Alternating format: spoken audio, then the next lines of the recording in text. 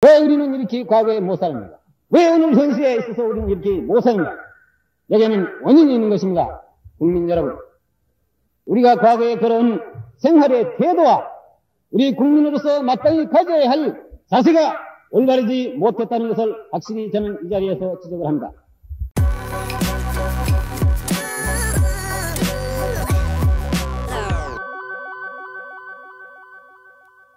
신의하는 광주 시민 그리고 전라남도 도민 여러분 어제는 8월 한가위 우리나라에 있어서 1년 중에 가장 즐거운 명절입니다. 작년 가을과 금년 봄, 금년 여름에는 하늘이 우리에게 고든 시간을 많이 주었습니다만 다행히도 금년 가을에는 하나님의 거룩하신 뜻으로서 우리 모든 국민들의 피땀 어린 노력의 결과로서 오곡 백과가 풍년을 구가하는 흐뭇한 가을이 왔고 여러분들 어제 추석도 이러한 흐뭇한 기분에서 명절을 맞이했으리라고 저는 생각합니다.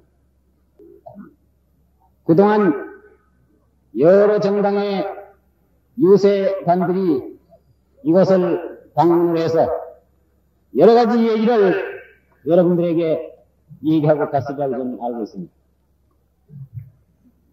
달콤한 소리, 남을 헐뜯는 소리, 남을 욕하는 소리, 모략, 등상, 결합을, 별소리를 다 하고 지내간 것을 본인은 알고 있습니다.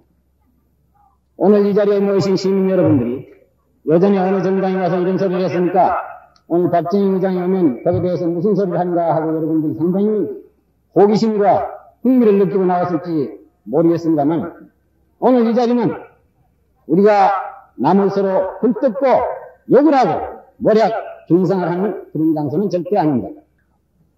오늘 이 시점에 있어서 우리 모든 국민들은 다 같이 옷깃을 가다듬고 진실과 정직한 민족적인 양심에 되돌아가서 어떻게 하면 앞으로 이 나라를 살기 좋은 나라로서 제공할 수 있는가 하는 이러한 문제를 우리 온 국민들이 다 같이 진지한 마음과 태도로서 모색을 하고 토론을 해야 될 그런 장소입니다. 이번에 실시되는 대통령 선거와 국회의원 선거는 그야말로 우리 국가의 운명을 좌우하는 중대한 행사가 되었습니다. 이번 선거야말로 우리 민족 국가의 흥망 진퇴를 판가름하는 역사적인 고비가 될 것이고 우리 한국 군대사에 있어서 결정적인 전환점이 될 것이고 분수령이 될 것입니다. 우리는 지난날 너무나 가난하게 살아왔습니다. 빈곤과 불력과 후진이라는 것은 먼 옛날부터 우리의 조상들이 대대로 우리에게 물려준 악의 유산입니다. 그 빈곤이라는 굴레를 우리는 오늘 현재도 벗지 못하고 신음을 하고 있는 것입니다. 왜 우리가 과거에 남과 같이 떳떳하게 자립한 국민으로서 잘 살지 못했는가? 먼 옛날을 그만두고라도 지난 19세기 후반기부터 20세기 초엽에 들었을 때 온 세계 선진 국가들이 과거에 그 나라가 지니고 있는 공동성을 탈피를 하고 새로운 근대 국가로서 건설하기 위해서 모든 국민들이 몸부림을 치고 있을 때 우리 한국 국민들은 무엇을 했는가? 그 당시에 위정자들이 무엇을 했는가? 20세기 초입에 들어서 우리는 불행히도 일제 식민지 하에 우리의 근대화를 다뤄나갔습니다. 이거 역시 우리가 우리를 침략한 일본 사람만을 원망할 것이 아니라 왜 우리 국민들이 일제에게 침략을 당하고 정복을 당하고 식민지가 됩니다. 한 것을 우리 다, 다 같이 가슴에다 손을 대고 과거에 우리 민족이 걸어온 지난 행적을 우리가 반성해볼 시가 없다고 생각합니다.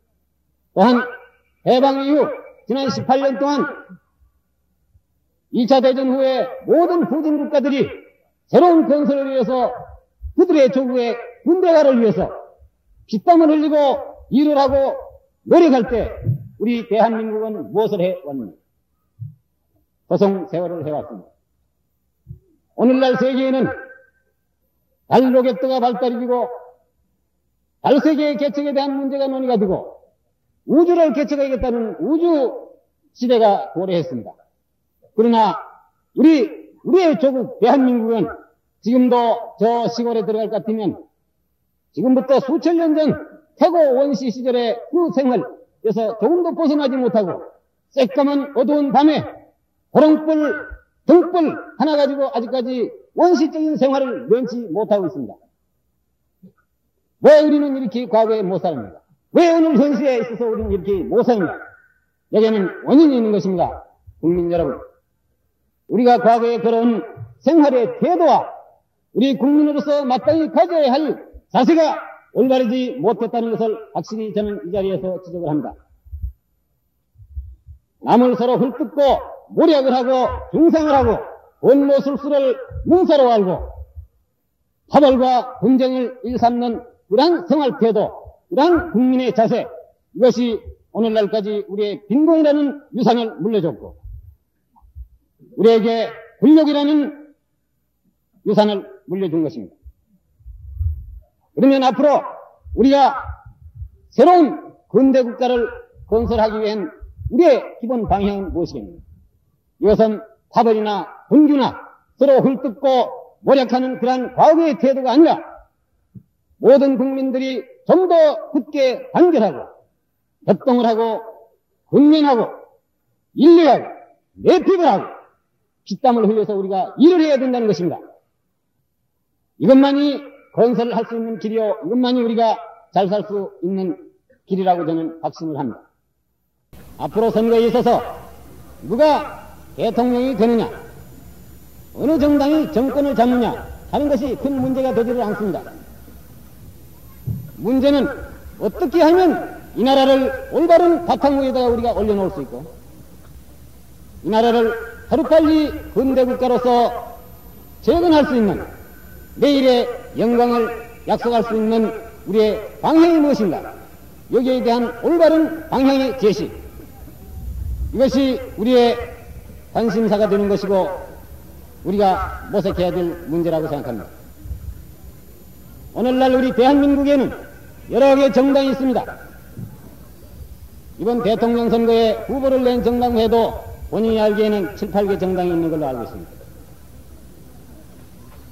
그러나 이러한 정당을 우리들이 개별해서 볼 때에는 두 가지 종류로 우리가 나눌 수가 있습니다. 거기에는 두 가지의 뚜렷이 다른, 엄연히 다른 조류가 흐르고 있는 것입니다. 그 하나는 5.16 혁명을 근본적으로 이것을 부정을 하고 모든 사태를 5.16 전에 구질서로 다시 환원을 하기를 원하는 소위 구악에 젖은 구정치인들의 집단으로 되어 있는 복고주의적인 정당. 또 하나는 5.16 혁명의 이념을 계승하고 이 과업을 계속 강력히 추진을 해서 이 혁명을 국민혁명으로서 발전해서 이 나라를 하루속히 재건하고 건설하겠다는 의욕적인 정당. 이 두 가지 정당이 있습니다.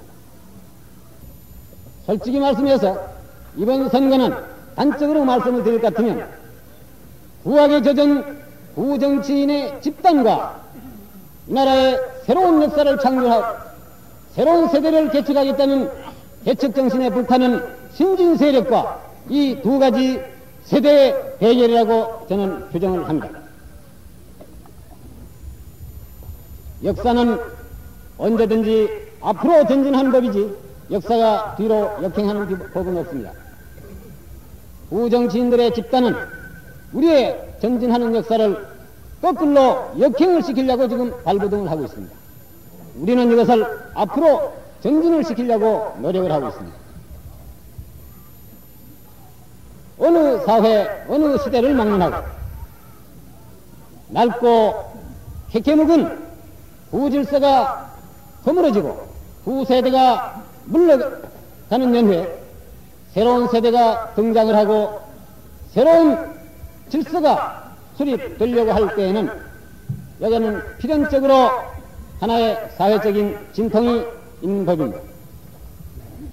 작금 우리나라 사회에 있어서 해결망측한 여러 가지 사회상 이러한 역사가 바, 뀌고 세대가 바뀌려고 하는 이 역사적인 순간에 있어서의 하나의 사회적인 진통이라고 보는 것이 틀림없을 겁니다. 부정치인들 집단인 소위 말하는 이 복고주의적인 정당에 속해 있는 사람들은 지금에 와서 5.16 혁명이라는 것을 의식적으로 이것을 부정을 하고 불법이라고 규정하려고 하고 있습니다. 5.16 직후에는 이것은 구국혁명이요, 구국반공혁명이요, 이 혁명이야말로 이 나라가 공산화 직전에 조국을 구한 유일한 구국혁명이라고 극구 예찬하던 그들이 지금 와서는 5.16 혁명은 불법이라고 합니다. 그러나 그 사람들이 4.19 혁명은 이것은 의거라고 그러고 불법이라고 하지 않습니다. 4.19 혁명 역시 그들이 주장하는 그 형식론을 따를 것 같으면 자유당 정부 역시 대한민국에 있어서는 당시에 합헌적인 정부였습니다. 이것을 학생들이 뒤집어 엎었습니다.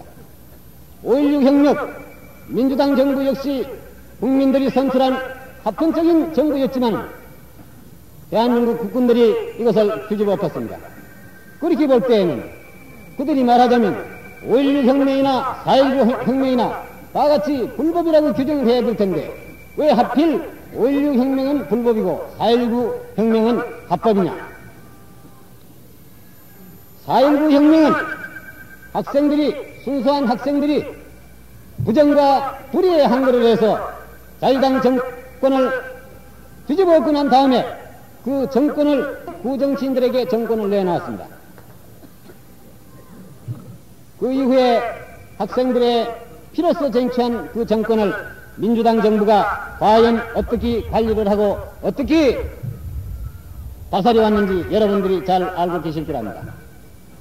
5.16 혁명은 군인들이 혁명을 하고 난 다음에 구정치인들에게 정권을 넘겨주지 않았습니다. 왜? 4.19 혁명 때 학생들이 구정치인들에게 정권을 넘겨주니까 그 꼴을 맹글러 나온 것을 우리가 알고 있기 때문에 이 사람들에게는 정권을 넘겨주면 또다시 옛날과 같은 혼란과 구악이 재발돼서 이 나라에 혁명이 다시 일어날 것을 염려해서 2년간이라는 제한된 시간 내에 우리 군인들이 이 나라에 기초적인 개혁을 해야 되겠다는 것을 결심을 하고 부정치인들에게 정권을 주지 않았습니다. 요는 5.16 혁명을 불법이라고 떠드는 그 친구들은 정권을 내놓지 않았기 때문에 거기에 대한 불평입니다. 다른 건 아무것도 없는 것입니다. 그들은 말합니다. 혁명정부가 민주당 정권을 탈권을 했다고 합니다. 정권을 뺏어갔다 이거예요. 5월 16일 날 새벽에 민주당 정부가 정신없이 자고 있다가 정권을 뺏긴 건 사실입니다. 모든 국민들이 정성어린 표 한 표 한 표를 모아서 그들을 선출을 해서 이 나라의 모든 운명까지 맡겨서 대권을 맡긴 그 정권을 왜 민주당 정부는 그따위로 하룻밤새 정권을 뺏기느냐. 아마 오늘 이 자리에도 민주당 출신 현재에도 민주당의 적을 가지고 계신 분들이 계실지 모릅니다. 제가 이런 소리를 하면 불만을 가지고 계실지 모르지만 전 확실히 말씀합니다. 여러분들 그 당시에 우리나라의 사회상이 어땠습니까? 영공 세력이 활개를 치고 사회 각계각층에 영공 세력이 뿌리를 갖고 들어가고 깡패가 거리에서 제사장처럼 날뛰고 있었고 데모는 밤낮 없이 일어나고 4.19 혁명이 일어나고 난 뒤에 민주당 정부가 넘어질 때까지 우리나라의 데모가 얼마나 일어난지 여러분들 아십니까? 제가 알고 있는 통계로서는 자그마치 1,800여 회의 데모가 일어났습니다. 그 절반은 민주당 정부 때 일어났습니다. 아까도 박준규 씨가 말씀을 했습니다만 신성한 국회의사당이 점령을 당하고 언론기관이 점령을 당하고 그것뿐이겠습니까? 당시에 돈 있는 사람들은 이래가지고 이거 안 되겠다. 이거 뭐 잘못했다가 가만히 앉았다가 공산당한테 그대로 미키겠다. 이래서 재산을 설금설금 해외에다 도피를 시켰습니다. 어떤 사람은 외국 선박과 계약을 해서 여차지하면 우리는 도망갈 테니까 미리 우리가 돈을 낼 테니까 그 배를 우리가 욕할 때 어느 장소에다 대기시켜달라. 이런 계약까지 다 하고 있었습니다. 거짓말입니까? 여러분들이 거짓말이라고 그러면 전 증거를 대겠습니다. 여전히 어떤 정당의 대통령 후보가 5월 16일 날 그 평화스러운 서울거리에 왜 군인들이 들어와서 혁명을 해서 이 세상을 시끄럽게 맹글렸느냐. 이런 소리를 했습니다. 그 당시에 배부르기 떳떳이 먹고 편하게 지낸 그 사람들은 평화로운 서울이라고 생각했을지 모르지만 뜻있는 온 국민들은 이 국가가 공산화 직전에 있었던 위기 일발에 있었다는 그러한 위기의식을 누구나 다 인정하고 있었을 것입니다. 다행히도 탈권을 그들이 말한 것처럼 탈권을 해간 사람이 대한민국 국군 장병들이 탈권을 했기 때문에 만분 다행이었지. 만약 그 사람들 정신없이 잠자다가 이북에 김일성이가 내려와서 탈권을 했다면 오늘날 우리 신세가 어떻게 됐겠습니까? 우리 운명이 어떻게 됐겠어요? 못할 소리가 없습니다. 요즘 와서는 박이장이 뺄갱이라고 합니다. 공산주의자라고 합니다. 내가 알고 있는 정부에는 야당 당원들이 지금 전국 방방곡곡 농촌에 돌아다니면서 이런 실정을 잘 모르는 무지한 농민들에게 박이장이 뺄갱이래 그 사람이 옛날 공산당이래 이런 식으로 지금 유포를 하고 돌아갑니다. 오늘 아침에 신문에 보니까 목포대에는 지금 붙어있는 대통령 후보 그 포스터에 박이장 얼굴에다 빨간 잉크를 갖다 전부 이래 돌아가면 전부 다 칠했다 이거. 이건 뺄갱이다 이겁니다. 이것이 소위 민주주의는 자기들만이 알고 대한민국의 민주주의는 자기들밖에 모른다고 주장하는 원필증 민주주의의 신봉자는 그자들이 하는 신사다운 행동입니까? 이거야말로 우리나라 속담에 물에 빠진 사람을 건져주면 보따리 내놓으라고 달라드는 것과 마찬가지 격입니다. 다 죽어간 사람을 건져주니까 지금 와서는 적반하장적으로 우리를 갖다가 뺄갱이다, 모략이다, 불법이다, 부정이다, 그들은 후퇴위원합니다. 그들이 하는 방법을 지난 2년 동안 더군다나 금년 정월달 정치활동이 허용되고 난 뒤에 본인은 기대한 관심을 가지고 부정치인들의 모든 행동을 감시를 했습니다. 감시를 했다는 건 어떻게 있을지 모르지만 바라보고 왔습니다. 그 사고방식에 있어서 그 생리에 있어서 하는 술법에 있어서 조금도 틀린 것이 없습니다. 후퇴위원합니다. 본인을 대단히 위험한 사상을 가진 불순 분자라고 이렇게 돌아가면서 규정을 합니다. 제가 알기에는 그분들이 정말 위험천만한 사람들입니다. 왜? 여러분들, 박정희란 사람이 아무리 못내고 아무리 능력이 없는 사람이라 하더라도 오늘 현실에 있어서 대한민국 혁명정부의 최고 책임자로 있고 내가 모든 실권을 쥐고 있는 나를 갖다가 아무 근거도 없이 터무니없이 저 사람이 뺄리라고 지금 생사를, 생사람을 잡는 이러한 술법을 쓰는 사람들이 만약에 여담에 그 사람들이 정권을 잡았을 때 힘이 없고 말 못하는 백성들이 자기 비위에 거실리고 미울 때는 야식이 들어가면 전부 뺄리라고 두들이 몰거 아닙니까?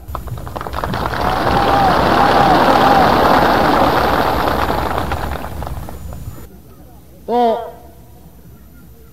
그분들은 말하기를 대한민국에 있어서 민주주의는 우리말이고 우리만이 민주주의를 충실히 신봉해왔고 이행해왔고 지금 혁명정부나 군사정부는 이건 전부 군사 독재고 파쇼고 무엇이고 바이장은 군복을 벗고 나와도 그 사람은 군인이고 바이장이 군복을 벗고 나와서 집권을 하도 그건 군적 연장이다.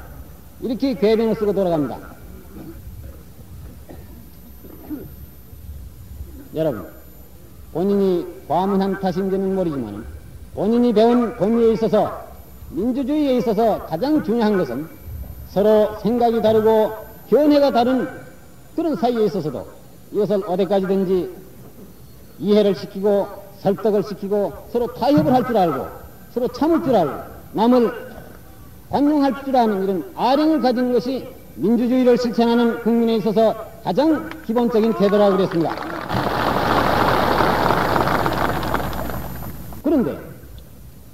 그분들이 하는 행동은 무엇입니까?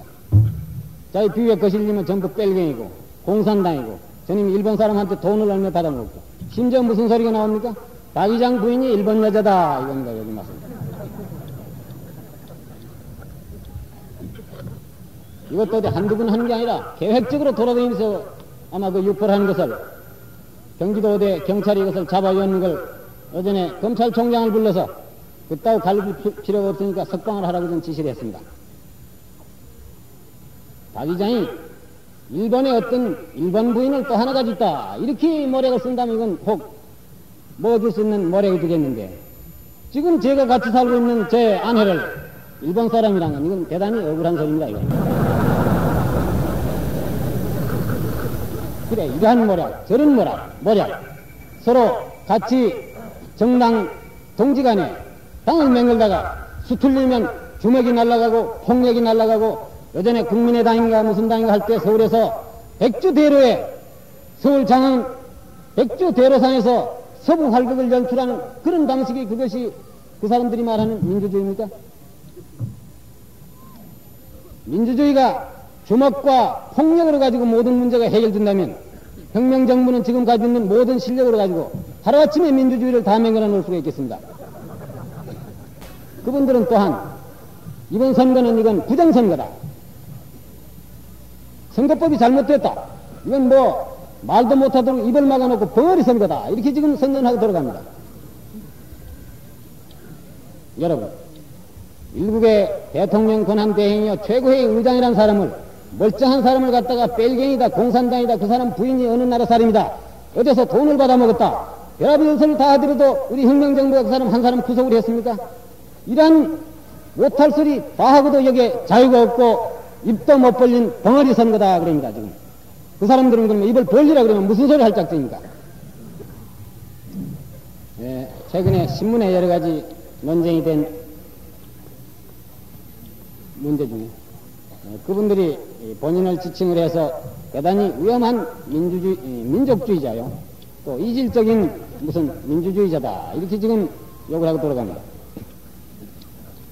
물론 민주주의의 그 본질에 있어서는 차이가 없을런지 모르지만 본인이 생각하고 있는 민주주의와 그들이 생각하고 있는 민주주의는 확실히 차이가 있다고 본인 자신도 느끼고 있습니다. 본인이 말하는 민족주의라는 것은 17, 8세기에 유행되던 소위 대타적이요, 고립적이요, 심지어 극단적으로 나와서는 국수주의 사상과 직결되는 이러한 위험한 민주, 어, 민족주의를 말한 것이 아닙니다. 우리의 주변에는 2조 500년 동안 뿌리 깊게 내려오던 사대주의 근성이 아직도 얼마든지 남아 있습니다. 일제 40년 동안 뿌리 깊게 내려온 식민지주의 근성이 우리의 생활 주변에, 주변에는 아직도 얼마든지 있는 것입니다. 이러한 전 근대적 봉건적인 잔재를 완전히 일소를 하고 우리도 독립국가의 자주민으로서 떳떳이 자주의식과 민족의 주체의식을 똑바로 가지자 하는 것이 본인이 주장하는 민족주의입니다. 본인이 주장하는 민주주의라는 것은 이와 같은 확고한 민족적 이념을 바탕한 그 위에다 갖다 우리는 민주주의를 키워나가자 하는 것이고 구정치인들이 말하는 민주주의라는 것은 사대주의 근성을 바탕으로 하는 민주주의를 말하는 것입니다. 왜냐면 그들이 주장하는 민주주의라는 것을 호수애비 껍데기 민주주의라고 그럽니다. 이것을 총칭해서 가식적인 민주주의라고 얘기를 했습니다. 왜 허식적이고 껍데기냐?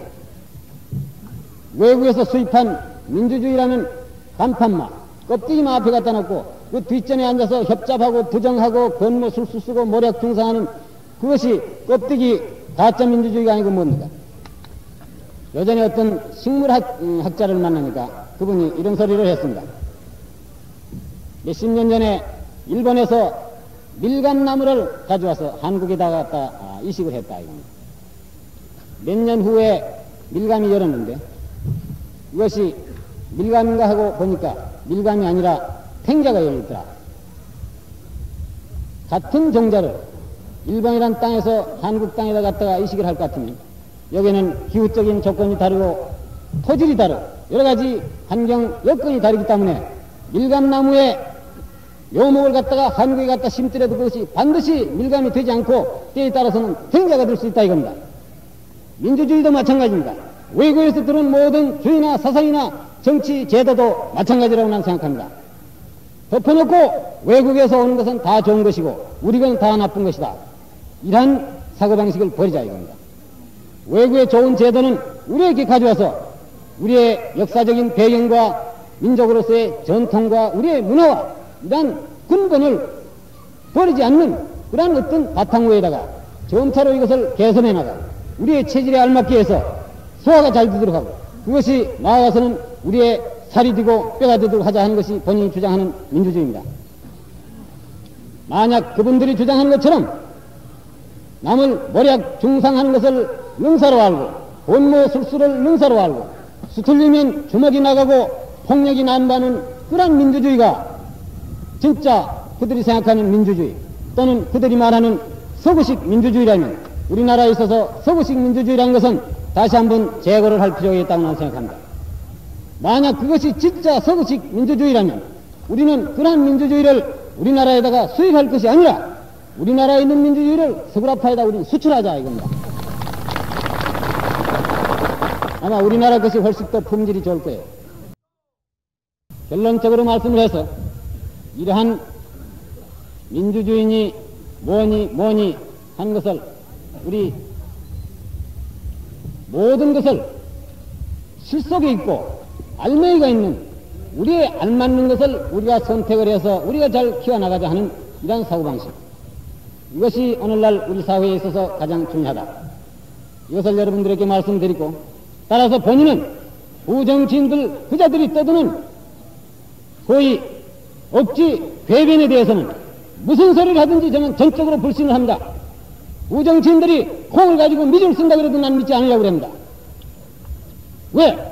그자들이 지금까지 해온 모든 그 행동, 지금까지 걸어온 그 행적, 오늘 현재 하고 있는 그 행동, 앞으로 새로이 수립되는 제3공화국에 있어서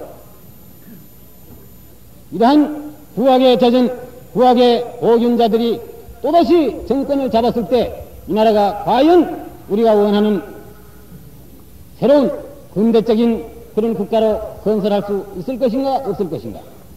하는 것은 여기에 대한 선택의 자유는 오로지 국가의 주인공이신 국민 여러분들에게 달려있지만 제가 부탁하고 싶은 것은 이번만은 절대 여러분들이 과거와 같이 부정치인들에게 쏘아서는 안 된다 이것입니다.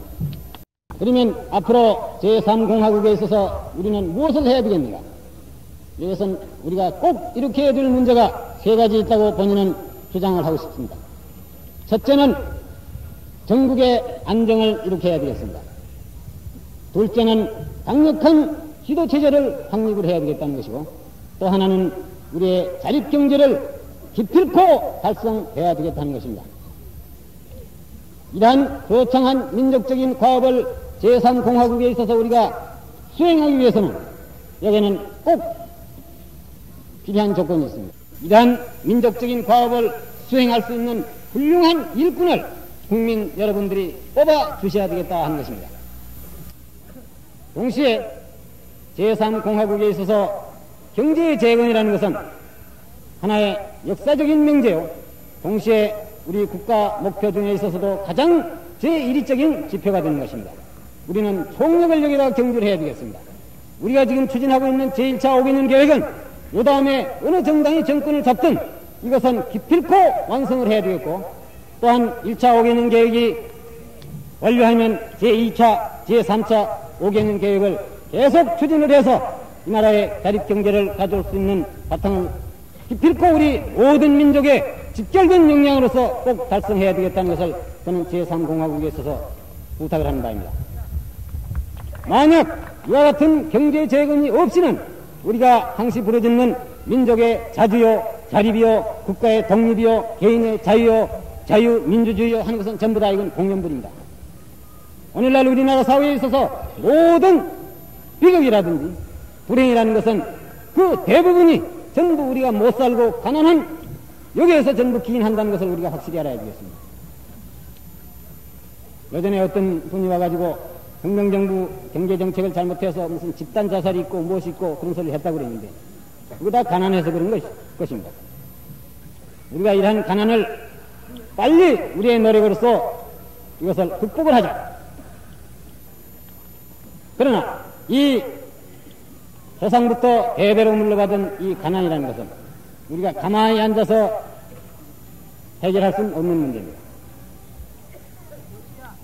여기에는 처음에도 제가 말씀드린 바와 마찬가지로 우리 모든 국민들이 앞으로 몇 년 후에 우리의 경제를 자립을 시키고 보다 잘 살 수 있는 번영된 국가를 만들기 위해서는 오늘은 우리가 먹을 것도 덜 먹고 입을 것도 덜 입고 허리띠를 절러내고 우리가 전부 땀을 흘리고 노력을 하고 근면을 해야 내일의 행복이 올 수 있고 우리의 자립경제를 가져올 수 있다 이겁니다. 요즘에 일부 정당의 후보자들이 지방에 돌아다니면서 여러분들 나를 대통령을 시키주면 내일부터 당장 여러분들 다 배부, 배부리긴 게이고 부자를 맹글라 주겠다. 이건 거짓말입니다. 지금 우리의 모든 주어진 여건이 하늘에서 별을 따오는 그런 재주가 없는 한 하루 이틀에 당장 우리를 잘 먹이고 부자를 맹글 그런 방법은 없는 것입니다. 만약 진짜 그런 분이 있다면 본인은 오늘 이 자리에서 당장 대통령 후보라는 걸 사퇴라고 그분을 적극적으로 밥을 싸 들고 따라다니면서도 지지를 하겠습니다. 내가 대통령이 되면 미국 가서 원조를 오겠다. 그 생각은 대단히 좋은 것입니다. 그러나 본인이 알기에는 미국이 비원조 국가에 원조를 하는 그 원조 정책이 그것은 어떤 뚜렷한 기본 정책이 써 있고 그것은 반드시 연차 계획으로서 미국 국회를 통하, 통과하고 국회의 승인을 얻어가지고 계획적으로 이것이 집행이 되는 것이지 어떤 개인이나 특정인이 찾아가서 액을 한다고 해서 그 사람 얼굴이나 체면 봐서 선심 쓰는 그런 원조가 아니라는 것을 저는 확실히 알고 있습니다. 다만 우리가 아는 것은 미국의 원조 정책이 몇 년 전부터 예산이 점차 줄어들어가고 있고 그 원조하는 방식에 있어서 과거에는 무상 원조 형식 이것을 취했는데 근래에 와서는 무상 원조를 소위 무상 공이라고 합니다. 이것을 지향을 하고 점차로 장기 차관 원조로서 지금 바꾸고 있는 것입니다. 국회에서 예산이 매, 매년 매년 줄어들어가는 것입니다. 물론 앞으로 우리 정부나 우리 국민들은 앞으로 우리가 자립경제를 이룩할 때까지 정부 국민들이 보다 더 노력을 해서 경제 외교를 더 강력히 추진을 해서 미국의 원조를 더 많이 얻을 수 있도록 우리가 노력은 해야 될 것입니다. 그러나 어떤 개인이 찾아가서 삐를 쓰고 애거를 한다고 해서 좀 더 가져가시오 이렇게 내주진 않는다 이겁니다. 어떤 사람은 자기는 3개월 이내에 미국 가서 원조를 얻어다가 여러분 배고픈 사람 다 미국 살리겠습니다. 이런 거짓말하고 돌아가는데 이것은 결국은 국민 여러분들을 깔보고 하는 얘기입니다. 모두 무식한 사람들이니까 내가 이런 소리 해도 못 알아듣겠지. 적당히 쏘가 넘어가겠지 하는. 국민을 이건 없어이 보고 깔보고 하는 수작들입니다. 적어도 일국에 앞으로 정권을 담당하겠다는 그러한 포부를 가지고 나온 사람이면 국민들에게는 솔직히 이해하고 자기의 능력을 확실히 알고 할 수 있는 자기의 설계와 포부를 솔직 담백하게 피력을 해야 되는 것이지 잠깐 그 자리면 깜짝 속임수로서 넘기겠다는 이런 그 야비한 수작은 우리는 지향을 해야 되겠다 고 생각합니다. 다음에는 이번 선거는 제가 중앙에서 누차 아, 국민 여러분들에게 고사한 바가 있습니다만 이것은 기필코 공명선거를 일으켜야 되겠다. 이것은 본인의 확고부동한 신념입니다. 이번 선거에 있어서 우리가 설령 패배하는 한이 있더라도 이번 선거만은 기필코 모범적인 공명선거를 일으켜야 되겠다. 여기는 손톱만한 거짓말도 없는 것입니다. 오히려 본인은 지금 중앙에 앉아서 늘 걱정하는 것은 말단에 있는 공무원들이 소위 요즘에 신문에 나는 선심이요, 과인 충성이요, 이런 게 해서 이 공명선거의 분위기를 흐릴까 하는 것을 단속하는데 진땀을 빼고 있는 것입니다. 우리가 부정선거를 하겠다든지 불법을 하겠다는 의사는 주어도 없는 것입니다. 그러나 지금 야당 인사들은 뭐라고 그래 있습니까? 이건 부, 부정선거다. 지금 생크집을 잡으려고 달라듭니다. 몇 며칠 전에도 어느 정당이 부산에 와서 강연을 하면서 역전 광장을 빌려달라고 신청을 했네요. 시당국에서는 그게 교통이 대단히 번잡하고 일반 시민의 불편을 주기 때문에 장소를 딴 데를 신청해달라. 안 된다. 우리 기억하겠다. 허가 안 얻으려 하겠다. 허가 나지 않았는데 그냥 구역구역 들어가서 거기서 강연을 했습니다. 그러나 시당국은 그걸 그대로 가만히 두었습니다. 그때 경찰에 들어온 정부는 그 정당이 깡패를 수십 명 내수를 해가지고 강연하는 도중에 들어가서 마이크를 뒤집어 엎고 무슨 소란을 일가시라 이런 그 계획을 꾸몄다는 정보를 듣고 경찰이 몇 배나 동원을 해서 경계를 엄하게 했기 때문에 그 선거 연설은 결국은 조용한 분위기에 다 끝났습니다. 이것은 지금 우리가 생각하는데 과거에 하던 식과 정반대입니다. 여러분들 아직도 기억에 생생하겠지만 과거의 선거 때는 여당이 야당을 두드리 잡기 위해서 뉴면 저놈은 뺄갱이다 공산당이다 뭐 이렇게 찍어였고 선거할 때도 여당이 뛰어다니면서 야당 선거 연설하는 걸 마이크를 뒤집어 엎는다든지 무슨 연사를 끌어미룬다든지 이런 그 추태를 부리는데 이번엔 정반대 현상이 지금 나타나고 있는 것입니다. 왜 그 사람들이 그런 것을 하느냐? 이런 것을 하면 이건 법에 어긋나는 행동이니까 당국에서 반드시 체포를 하고 구속을 할 것이다. 날 잡아 이거 달라 이건데. 그러면 이건 야당에 대한 탄압이다. 이건 뭐 부, 공명 자유 분위기가 보장이 안 됐다. 뭐 뭐다 해가지고 국민들한테 이제 떠들고 이제 선전하겠다는 그런 그 수작인데 우리 혁명정부도 그러한 그 낡은 수법에 넘어가지 않습니다. 이번 선거 기간에 있어서는 야한 일이 있더라도 체포를 하지 말라고 저는 지시를 했습니다. 단 선거가 끝나면 법에 어긋난 것은 모든 것을 법에 의해서 처리하자. 저 자신도 들어도 저를 지금 벨기이다 공산당이다 무엇이다 일본에서 뭘 얻어먹었다 이렇게 지금 참지 못할 이런 모욕적인 중상을 하고 있는데 본인도 나의 조국인 대한민국에 대해서 나의 순수성과 조국에 대한 충성심과 순결성을 명백히 밝히기 위해서 이번 선거가 끝나면 반드시 법에 의해서 이 문제는 가리고 말 작전입니다. 마지막으로 여러분들께 한마디 부탁을 하고 내려갈까 합니다. 아, 지금도 말씀드린 바와 마찬가지로 이번 우리의 선거에 대해서는 우리 국민뿐 아니라 모든 자유우방 국가 국민들이 지대한 관심을 가지고 이번에 대한민국 선거가 어떻게 진행이 되는가 하는 것을 어, 모두 바라보고 있는 것입니다. 우리 국내에도 현재 외국의 언론, 언론인, 신문 기자, 외교관, 여러 사람들이 와서 이 선거를 전부 주시를 하고 있는 것입니다. 우리가 아무리 선거를 한다 하더라도 대통령이라는 그 자리가 좋고 국회의원이라는 그 감투가 아무리 좋다 하더라도 국민으로서 국가의 위신이라든지 체면을 손상시킬 그런 행동은 우리 스스로가 삼가를 해야 되겠다. 근거도 없이 남을 모략, 중상, 헐뜯고 욕하고 원모 술수만을 일삼는 그러한 행동. 과연 외국 사람들이 우리의 지금 선거 양상을 봤을 때 어떻게 보겠습니까? 한국 국민의 정치적인 수준, 교양의 정도, 과연 민주주의를 할 수 있는 그런 민도에 도달한 국민인가 아닌가 하는 것을 외국 사람들은 전부 보고 있는 것입니다. 누가 무슨 소리 하든지 나는 당선만 된다. 정권만 잡으면 된다. 이런 그 생각을 가지고 하는 사람들은 이건 국가의 위신이라든지 체면이라는 것은 전혀 망각한 그러한 행동이라고 규정 짓지 않을 수 없는 것입니다. 따라서 아무리 선거가 지금 동방전에 들어서 열을 띠고 흥분의 도가니에 쌓였다 하더라도 이 나라의 주인공이신 국민 여러분들만은 절대 흥분에 흡슬려 들어가서는 안 될 것이고 냉정을 잃어서는 안 되겠습니다. 어디까지든지 냉철한 이성과 현명한 판단력을 잃지 마시고 이번 선거가 우리 국가의 운명을 좌우하는 중대한 선거라는 것을 여러분들이 확실히 명심을 하시고 올바른 사람을 선택하는데 여러분들의 주권 행사를 똑바로 정당하게 후사해 주실 것을 간곡히 당부를 하고 어제 추석이라 오늘은 모두 어, 여러분들 성묘나 고향이나 모두 가야 될 그러한 시간인 줄 압니다만 우리 당의 강연을 들어주시기 위해서 이렇게 많이 모여서 장시간 동안 지루한 얘기를 조용히 들어주신 데 대해서 심심한 감사의 뜻을 표한다. 감사합니다.